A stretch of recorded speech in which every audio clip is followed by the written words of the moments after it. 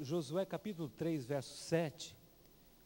Então disse o Senhor a Josué: Hoje começarei a engrandecer-te perante os olhos de todo Israel, para que saiba como fui com Moisés, assim serei contigo. Amém. Pai, eu quero declarar nossas mentes agora cativo à tua obediência. Senhor, que haja o fluir do teu espírito nesta noite. Fale aos nossos corações, Pai. Eu quero declarar esta é uma noite de libertação, noite de cura, de milagres, prodígio e maravilha porque aqui está o Senhor Jesus de Nazaré no nosso meio, onde está o Espírito do Senhor, a liberdade. Tu tens liberdade, Senhor. Enquanto estiver pregando, vá curando vida, Senhor. Vai libertando, vai restaurando. Eu quero declarar que ninguém vai sair da maneira que entrou aqui. Todos sairão daqui tocados, impactados, libertos, Pai, porque o Senhor está aqui presente, Senhor. Amém, Jesus. Tema da mensagem: as bênçãos que garante a conquista. Nós estamos falando uma série de mensagens sobre Josué. Josué significa Deus é salvação. E a, e a, Bíblia fala de um grande homem chamado Moisés, que libertou o povo, que estava debaixo do jugo de Faraó. E o povo foi livre. E a Bíblia fala que Josué, agora ele vai suceder a Moisés. E este homem, quando ele recebe a missão de introduzir o povo para a terra prometida, ele recebe uma responsabilidade muito grande, muito difícil. Mas ele entendeu uma grande verdade: a presença de Deus, se é comigo, se o Senhor me ungir, eu vou obter vitórias. E este homem incorporou realmente a unção de Deus na sua vida. A unção de Moisés foi transmitida para aquele homem chamado Josué. E ele incorporou, e a Bíblia fala que se tornou um homem poderoso nas mãos de Deus. Enquanto todos viam dificuldade, ele tinha uma visão de águia, que ele via só possibilidade. Ele viu o milagre de Deus diante dos obstáculos.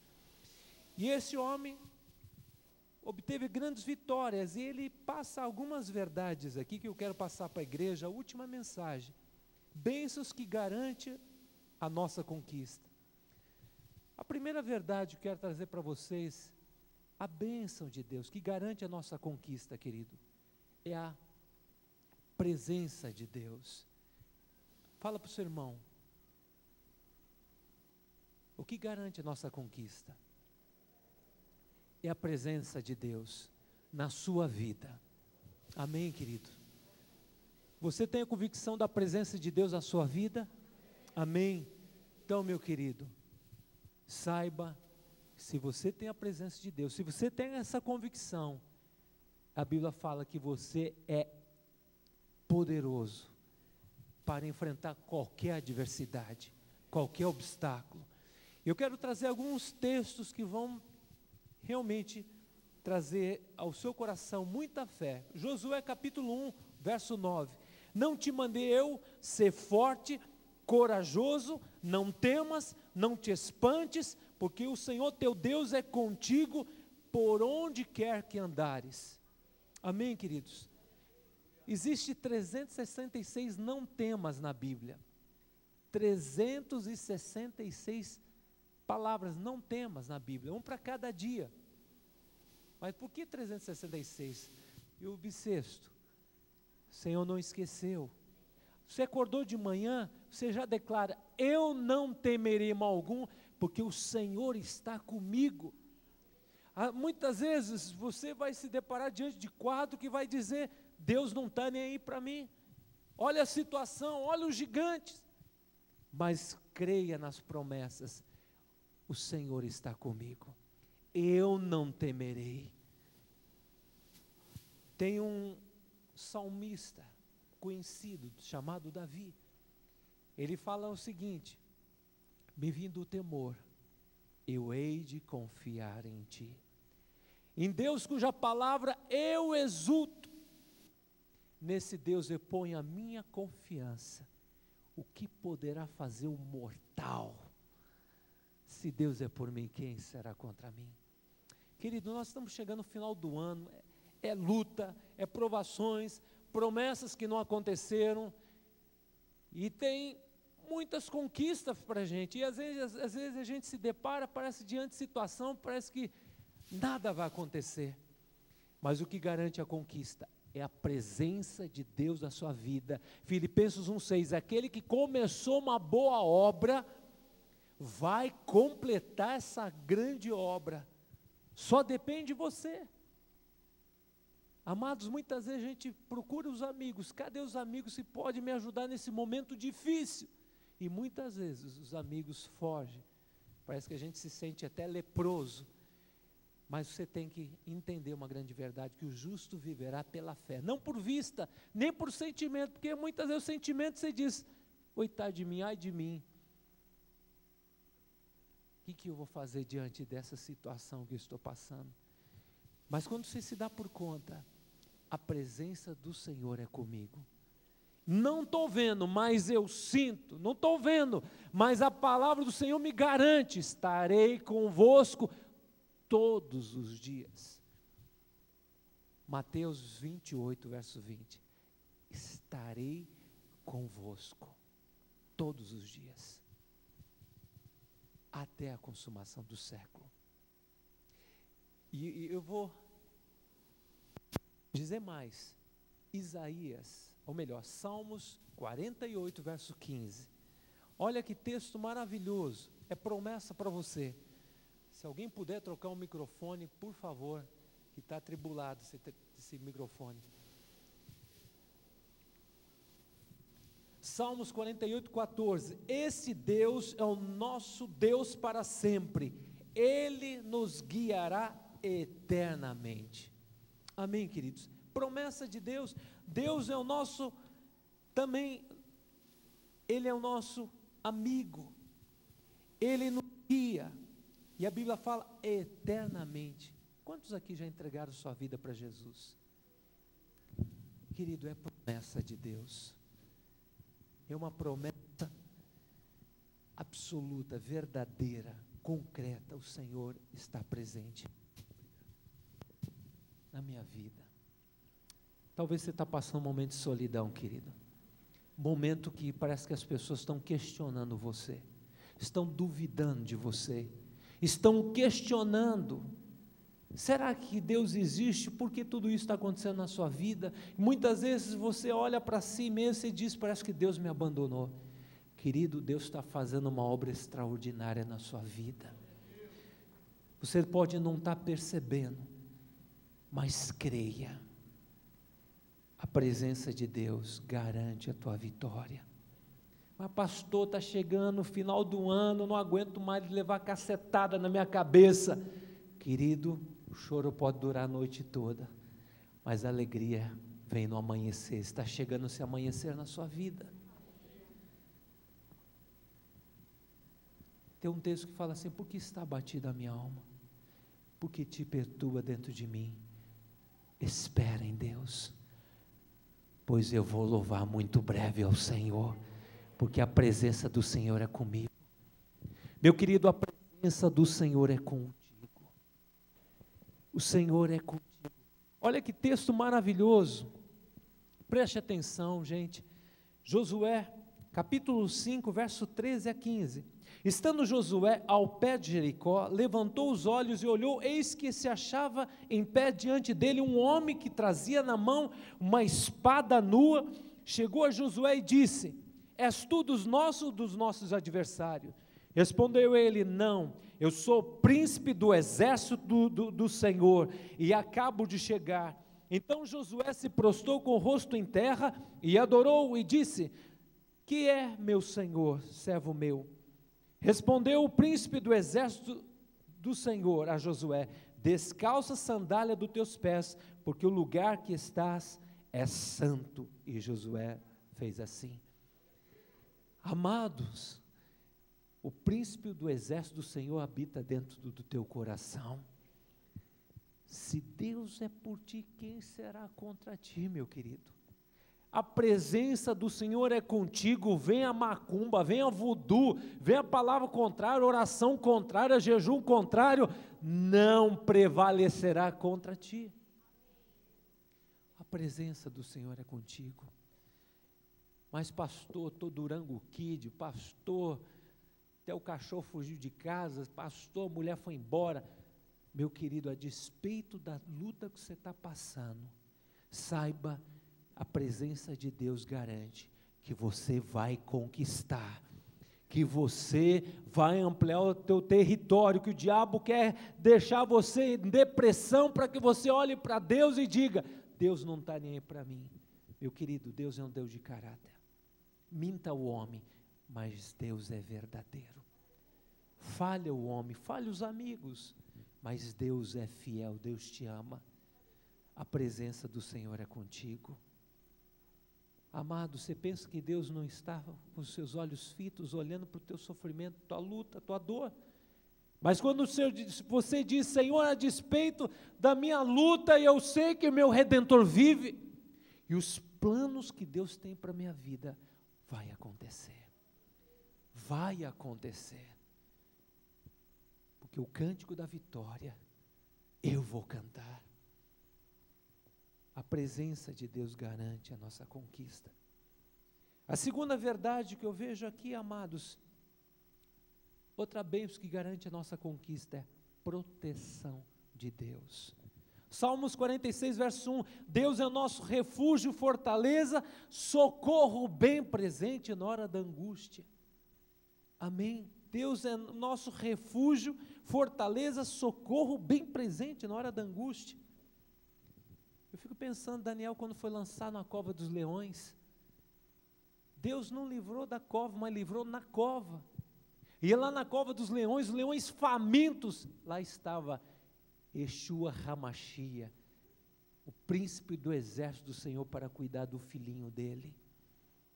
Querido, o Senhor está com você, mesmo que você ande pelo vale da sombra da morte, o Senhor diz para você: não tema, porque o Senhor guarda você, protege você.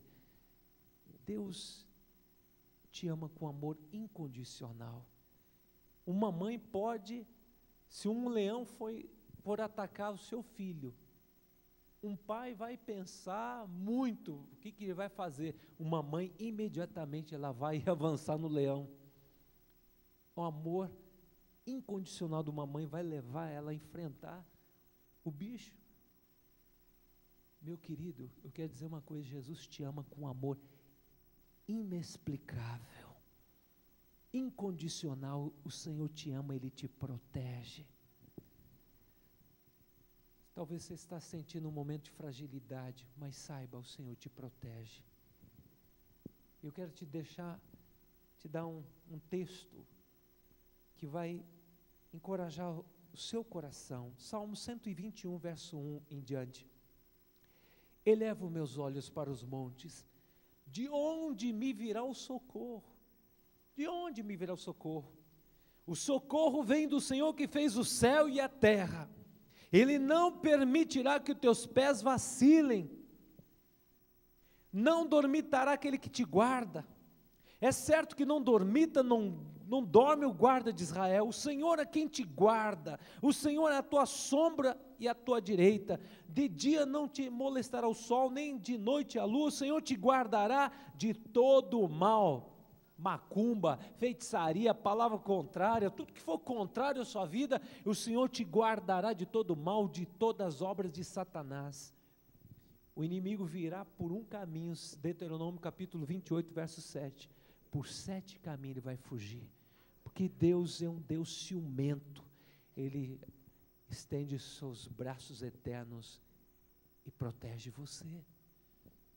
Por isso, meu querido, quando você tem essa convicção, você entrega teu caminho ao Senhor e vai confiar nele, porque o milagre ele fará, porque ele protege você, ele te ampara contra as setas malignas que querem inviabilizar o grande plano que Deus tem para a sua vida, mas serão concretizados, porque o Senhor te guardará de todo mal, guardará a tua alma. A nossa alma é um campo de batalha, gente. Se dez pessoas combinarem e falar para você, você está você tá muito amarelo, você está mal, o que está acontecendo? Olha, você está com uma cara de depressão. Vai chegar no final da noite, essa pessoa está em depressão. essa pessoa vai ficar doente. Há poder nas palavras, e a pessoa vai aceitando, vai aceitando, vai aceitando, quando se dá por conta, está derrotado. Mas eu quero dizer uma coisa, meu querido: se a palavra de Deus se você está cheio, a tua mente, teu coração com a palavra de Deus, vem a palavra contrária, vem os enviados do diabo, vem a má notícia, você vai dizer: Eu não temerei mal algum, porque o Senhor, a presença de Deus é comigo, o Senhor me guardará de todo o mal. O Senhor te guardará. Querido, se, se liga a televisão, vai assistir todos os noticiários, você fica pessimista e diz: olha, não tem mais jeito para esse mundo de gelo, poluição, já estão falando, vai acabar a água potável, terceira guerra mundial está para explodir. Nos Estados Unidos, esse filme 2012, quem já viu, levante a mão. Eu vi, interessante. Segundo o calendário astecas, maias, fala que o mundo vai passar por um colapso mundial que vai acontecer desgraceira no mundo todo e mostrou lá em Nova York, debaixo d'água, e os americanos estão estressados, apavorados, porque estão dando ouvido a uma profecia do capeta. Meu querido, eu sei de uma coisa: a nossa redenção se aproxima a hora da nossa partida só Deus sabe. Enquanto nós estamos na face da terra, o Evangelho vai ser apregoado nos quatro cantos da face da terra. E quando Jesus arrebatar esse povo santo de Deus, aí virá a desgraceira, querido. Se levantará um anticristo, e a Bíblia fala dos juízos de Deus que sobrevirão na face da terra, e ai daquele que negligenciou tão grande salvação, ai daquele que, que não deu ouvido à palavra de Deus, aceitou Jesus de boca, mas não de coração, não nasceu de novo. Quando Jesus voltar, vai acontecer o arrebatamento no mundo todo, e aquele que realmente nasceu de novo, esse vai estar encontrando Jesus nos ares. E ai daquele que não entregou a sua vida incondicionalmente vai vir no culto de quarta-feira dizendo, mas que povo é esse? Só esses gatos pingados e eu aqui. Cadê o pastor irresponsável? Não veio para ministrar? Eu sei que vou estar na glória. Queridos, Jesus está às portas, mas enquanto a igreja de Jesus está nesta terra, amados, nós vamos cumprir a grande comissão. Ide por todo o mundo, os sinais seguirão aqueles que creem. As bênçãos te seguirão, a provisão de Deus te seguirá. Tudo aquilo que você necessita para que o propósito de Deus seja cumprido, virá nas tuas mãos. Amém. Eu vejo, amados, um texto também muito conhecido, Salmos 91. Você pode abrir? Todo mundo lê, deixa a Bíblia aberta e fica a Bíblia amarelada até o capeta sabe, conhece esse texto, mas tem crentes que não conhecem, não se apropriam desta verdade. Porque não adianta você conhecer esse, essa promessa se você não se apropriar para a sua vida. O que habita no esconderijo do Altíssimo, que você possa dizer, eu habito no esconderijo do Altíssimo e descanso na sombra do Onipotente, diz o Senhor, meu baluarte, meu Deus em que confio, pois Ele me livrará do laço do passarinheiro, da peste perniciosa, Ele me cobrirá com as suas penas, sobre as suas asas estarei seguro, sua verdade é pavês escudo, não te assustará do terror noturno, não me assustarei do terror noturno, nem da seta que voa de dia, nem da peste que se propaga nas trevas, nem da mortandade que assola ao meio-dia. Caia mil ao meu lado, dez mil à minha direita, eu não serei atingido. Somente com meus olhos contemplarei e verei o castigo dos ímpios, pois eu disse: O Senhor meu refúgio, eu fiz do Altíssimo a minha morada. Nenhum mal me sucederá, praga nenhuma chegará à minha tenda porque aos seus anjos o Senhor dará ordem ao meu respeito, para que me guarde em todos os seus caminhos, e eles su me sustentarão nas suas mãos, para que não tropece em alguma pedra. Amém, querido?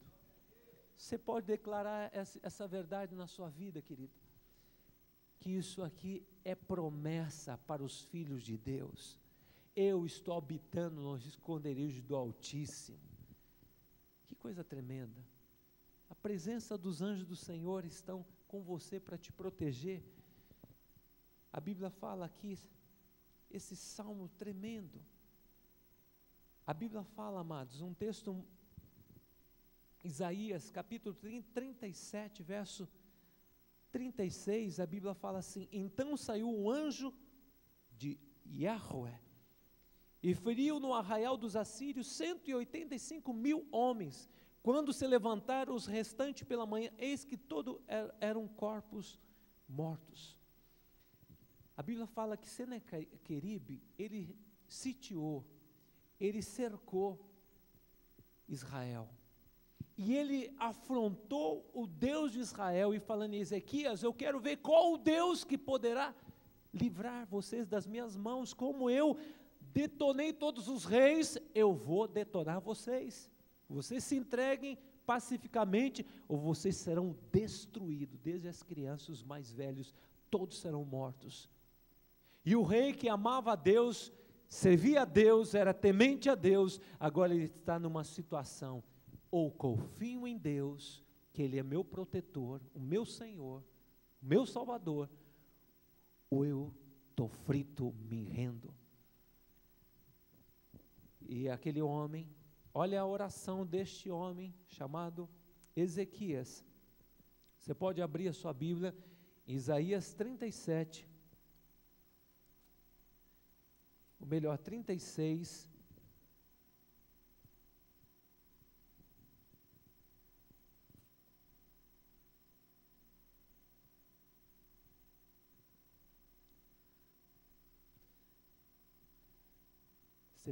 pula o 36 por 37, versos 14 em, em diante.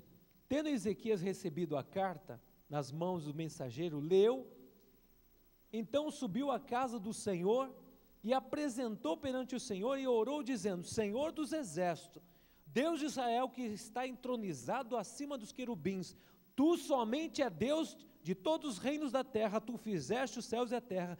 Inclina, ó Senhor, os teus ouvidos e ouve, abre, Senhor, teus olhos e vê, ouve todas as palavras que Senaqueribe, as quais ele enviou para afrontar o Deus vivo. Verdade é que os reis da terra, os reis da Assíria assolaram todos os países e suas terras, lançaram no fogo os deuses deles, porque não são deuses, nem eram, senão obras de mãos de homem, madeira, pedra, por isso o destruíram. Agora, pois, nosso Deus, livra-nos das suas mãos, para que todos os reinos da terra saibam que tu és o Senhor. Gente, que oração poderosa, fervorosa, botou Deus na parede.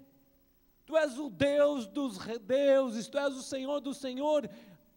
Senaqueribe destruiu todos os reis e se vangloria e destruiu todas as imagens que eles serviam.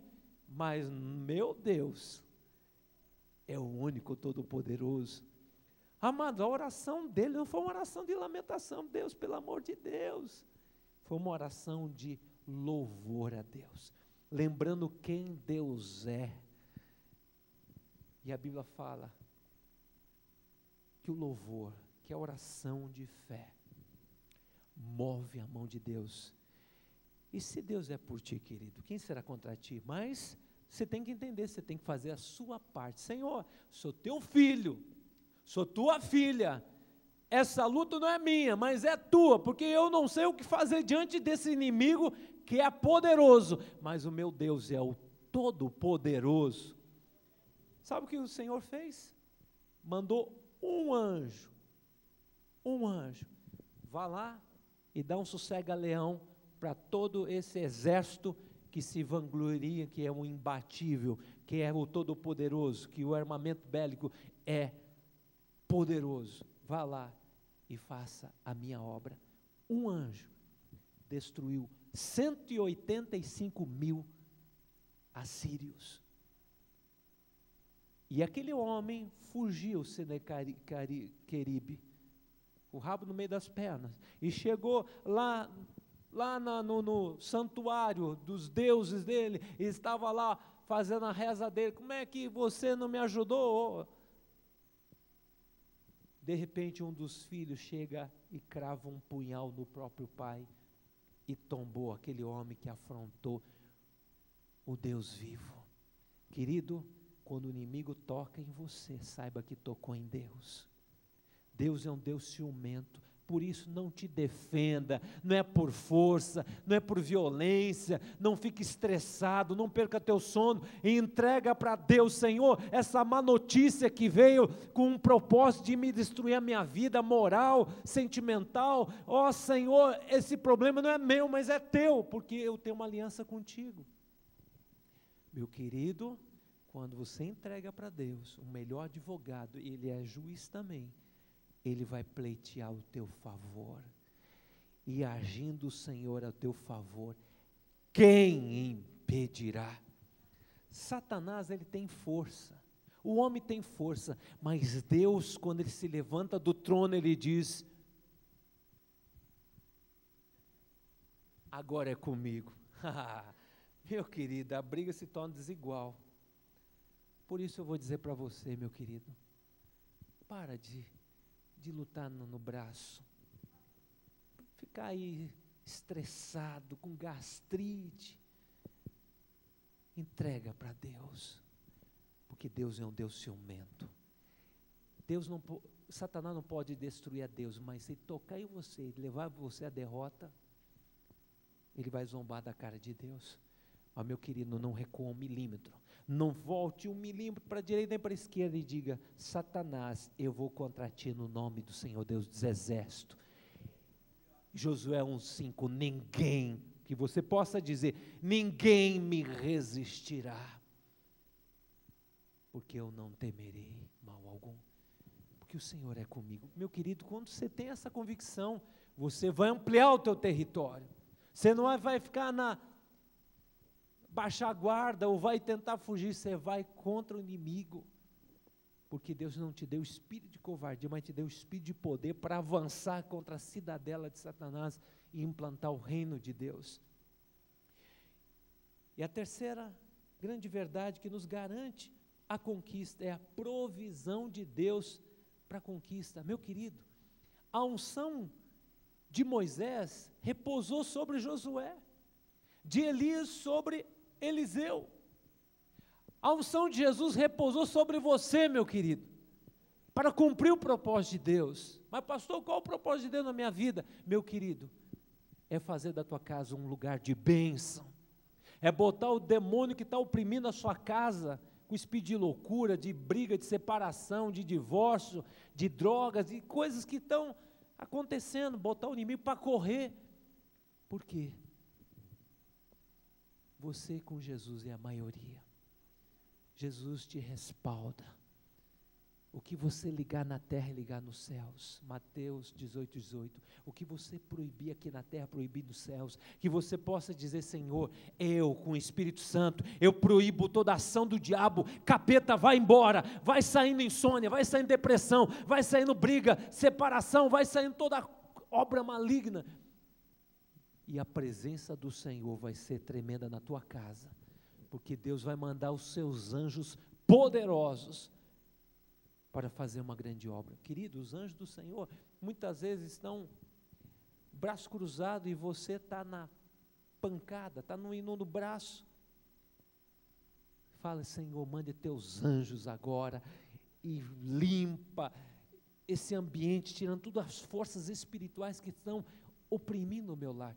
Gente, até na casa do pastor o capeta aparece. Até na casa do apóstolo, o, os demônios aparecem. Esses dias o Rafael falando, pai, entrou um homem feio, desfigurado, entrou uma coisa feia. E ele olhava e falava, sai daí em nome de Jesus. Ele repreendia. Aí eu, a Mariana, entramos numa batalha de oração até ir embora. Criança pequena tem a visão aberta, visão espiritual. Queridos, a batalha, o reino espiritual é real, rege o mundo físico. Essas barbaridades que acontecem de uma pessoa matar o pai, matar a mãe, esquartejar, querido, é demônios que, que tomam essas pessoas e levam a fazer essas loucuras.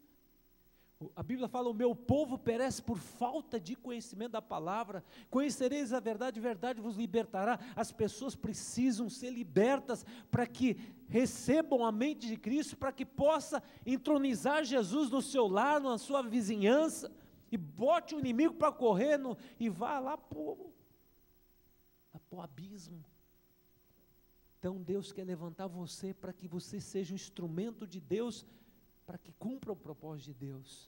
Mas comece a ganhar tua casa, Jerusalém, Samaria, Judéia, até os confins da terra. Primeiro, antes de ganhar os confins da terra, ganha a tua casa com testemunho, incorporando essa verdade, o Senhor te deu autoridade espiritual para pisar em serpentes e escorpiões. Muitas vezes a gente vai atrás do irmãozinho bênção.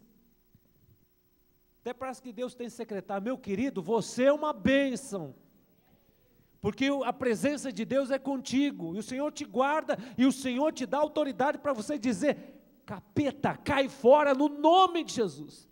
Porque no teu nome ele vai dar risada na sua cara. Mas quando você diz é no nome poderoso de Cristo Jesus, vai embora. E vai. Me lembro uma vez, estava ensinando meu irmão, meu sobrinho, tocar bateria. Isso faz 20 anos atrás. E me lembro que naquele tempo eu era crente de banco, mas não era nada de crente. Ia lá, que tinha uma bateria, eu gostava, e meu pai sendo pastor, eu falei, vamos tocar bateria, vou te dar umas dicas. E de repente entram umas pessoas lá no culto. Aí queria falar com meu pai, falei, está em Porto Alegre, não, vai, não, não está. E a pessoa fala, puxa, tudo que seu pai falou que ia acontecer com a minha vida, e aconteceu porque eu zombei dele, não, não dei ouvido.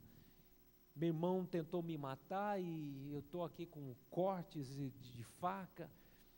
E eu inventei de falar assim. Naquele tempo, gente, eu, eu jamais subiria no púlpito para pregar ou orar eu era aquele crente, agente secreto, crente só de boca, crente Raimundo, pé na igreja, mais pé no, no mundo. Aí inventei de falar, se você quiser, eu oro por você. Mas nem imaginava o que ia acontecer. Eu comecei a fazer aquela oração que, que light, né? Senhor, abençoe essa pessoa, porque o cara ia voltar para Porto Alegre. Falei, puxa, meu pai não está aqui, ele poderia orar. Senhor, abençoe essa pessoa que veio aqui arrebentado, quebrado, perturbado, que ele volte para Porto Alegre debaixo da tua bênção. E se manifestou um demônio. O cara foi desfigurando, foi dobrando. Eu já fui olhando para a janela, onde que eu vou pular? Onde que eu vou correr? Porque fechei, tava, fechei lá a porta, mas eu olhei lá para o meu sobrinho e falei, ó, ou esse, ou esse demônio hoje vai ser expulso, ou nós dois vamos morrer hoje. Porque a situação estava desesperadora. Para mim, sim. Aí falei, Deus, sou o maior pecador. Tenha misericórdia de mim, Senhor. Sou um crente cara de pau, filho de pastor. Aí eu fui, confessei tudo que eu pudesse para confessar para o Senhor. Falei, na autoridade de Jesus. Demônio, em nome de Jesus, você vai embora. Ele me. Foi aquela voz horrível. Ele fez um pacto comigo, não sei aquela. Uma voz. Mas aquela hora, o Espírito Santo de Deus foi misericordioso comigo, me deu uma ousadia sobrenatural que foi embora. Eu falei, Deus, eu tenho que tomar posição. O Senhor me livrou hoje de ser arrebentado hoje pelo capeta, de ser humilhado, de sair daqui torto. O Senhor me livrou da vergonha. Queridos, Deus protege. Mesmo quando a gente falha, mas quando você pede perdão, Deus é Pai. Eu quero terminar essa palavra, querido, dizendo que Deus, Ele tem a provisão para você. A Bíblia fala, amados, Salmo 37, verso 25: Fui moço, agora sou velho, mas jamais vi o justo desamparado, nem a sua descendência mendigar pão. Pão de cada dia não vai faltar para você, mas vai chegar a hora que vai sobejar e você vai abençoar as pessoas. A Bíblia fala que Jesus estava, ele pediu o barquinho de, de Pedro e André. Você me empresta o barquinho que eu vou ministrar para esse povo? E Jesus foi a alto mar e, e ministrou a palavra. E aí aqueles homens lavavam a rede. Enquanto Jesus ministrava, aqueles homens escutaram a palavra. Isso insuflou fé no coração. Aí Jesus ministrou e Jesus fala assim: Olha, vai agora no alto mar e lança as redes. E aqueles dois homens falavam: Escuta, naquele, era, antes era Simão, depois Deus mudou para Pedro. Pedro, rocha. Simão significa inconstante. Vá no alto mar, mas bom homem. Nós já lutamos a noite toda, lançamos a rede para a direita para a esquerda, agora o mar não está para peixe. Mas sobre a tua palavra vou lançar as redes. E quando ele foi no alto mar, um barquinho do vizinho foi junto. E quando lançou as redes, Jesus deu até a ordem, que direção. E quando, amados, nós cremos na palavra de Deus e obedecemos, a Bíblia fala que o Senhor dá até a ordem para que os peixes vá para nossas redes. Grande quantidade de peixe pescou Pedro e André. Que o barco estava até afundando e o barquinho que estava do lado pôde ajudar Vamos repartir os peixes. Deus tem a provisão no momento que você diz: não tem mais jeito. O mar não está para peixe, mas quando Deus nos abençoa, o mar está para peixe. E saiba que Jesus fez uma aliança com você, a presença do Senhor é contigo. Deus te protege e Deus tem a provisão para você nesta terra até o dia que você fechar os teus olhos. Eu creio que muitos aqui que estão aqui nessa igreja não vão passar pela morte, porque eu creio que nós estamos vivendo a iminente volta de Jesus. Nós estamos às portas. Jesus está às portas para buscar a igreja. Enquanto você estiver vivo, a provisão de Deus vai ser notória na sua vida, porque Ele tem um compromisso contigo. O Pai sabe do que você necessita. Então, meu querido, não viva ansioso. Eu sou uma pessoa muito ansiosa. Eu sofro muitas vezes por antecipação, porque a ansiedade sofreu por antecipação. Então eu luto todo dia contra a ansiedade. Mas quando, amados, quando a gente incorpora a palavra do Senhor, não andeis ansiosos por coisa alguma, porque Deus se preocupa com você, Deus cuida de você. E a Bíblia fala na vida de Josué, não faltou nada. E eu termino essa palavra. Josué capítulo 23, 14: Eis que hoje sigo pelo caminho de todos os da terra, e vós bem sabeis